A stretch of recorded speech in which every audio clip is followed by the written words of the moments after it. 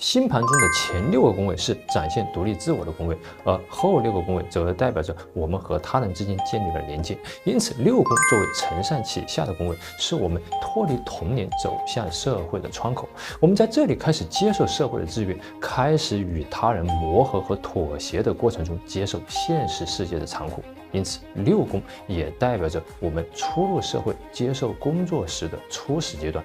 比如，金星落在六宫的人，在职场上会以一种放松的心态去面对周遭的人事物；冥王星落在六宫的人，则容易在职场上和同事之间产生信任危机。同时，六宫也代表了这个新生环境的职业属性。比如，木落六宫的人可能会在旅行社工作；月落六宫的人可能会去育儿中心上班；而海王星落在六宫的人，则可能在酒吧里任职。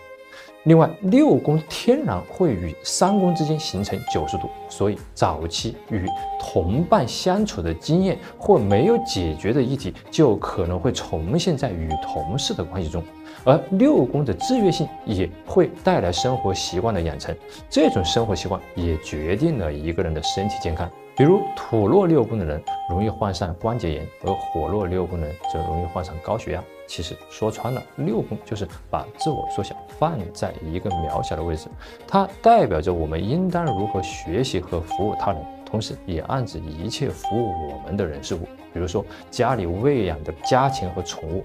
比如月落六宫的人就容易养到脾气温顺的宠物，而火落六宫的人就容易养到脾气暴躁的宠物。所以六宫就是人生的中转站，它让我们从五宫幼稚的神坛上跌落，打上社会的标签，重塑更加先进和成熟的自我。